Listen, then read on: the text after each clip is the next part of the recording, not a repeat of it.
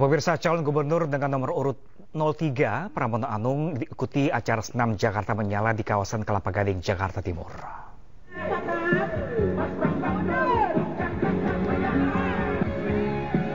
Pramono mengaku bahwa kegiatan olahraga ini ia rutin lakukan setiap Sabtu dan Minggu untuk menerapkan pola hidup sehat. Acara ini turut diikuti oleh puluhan warga Kelapa Gading serta mantan dan cilik Tina Tumi yang terlihat antusias dan semangat dalam ikut kegiatan senam.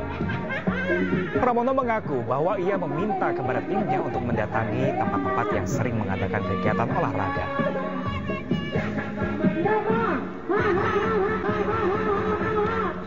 Ya, karena untuk MRT dan LRT kan uh, anggarannya berdua, termasuk untuk uh, apa KRL. Tetapi untuk busway kan memang uh, 14 koridor itu sepenuhnya oleh pemerintah provinsi. Jadi untuk itu harus duduk dan kerjasama.